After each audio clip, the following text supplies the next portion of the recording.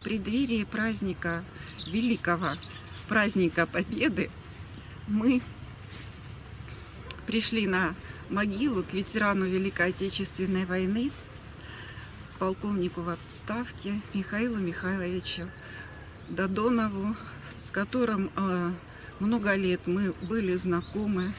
Я благодарна судьбе за это, потому что в своей работе главным считаю духовно-нравственное, патриотическое воспитание младших школьников. И вот эти ребята были знакомы с Михаилом Михайловичем.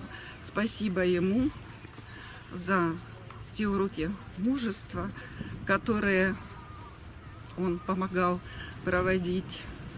Мы его помним, любим, чтим его память. Мы все чтим память Михаила Михайловича. И в этом году, в апреле, наша школа приняла участие в акции «Сад памяти». Возле здания нашей школы посажены три дерева. И точка посадки этих деревьев внесена на сайте э, «Сад памяти». Так что мы помним, мы чтим имя славного защитника нашей Родины. Наши дети хранят историческую память. И мы надеемся, что будут передавать ее из поколения в поколение.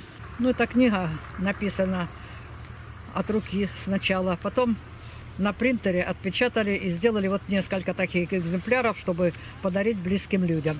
А эта книга, я думаю, по достоинству займет место в школьном музее. Вот, потому что все очень любили Михаила Михайловича, и он тоже всегда ждал встречи. Книга называется «Записки сапера». Тут он написал немножко о своем детстве и в основном, конечно, ну, весь жизненный путь тут. Это просто счастье, что вот дети, которые его никогда не знали, учителя, вот теперь считают, что он как родной им. Спасибо большое за ваше участие, за вашу доброту за то, что вас так воспитывают, что родители воспитывают в первую очередь так, ну и школа, конечно.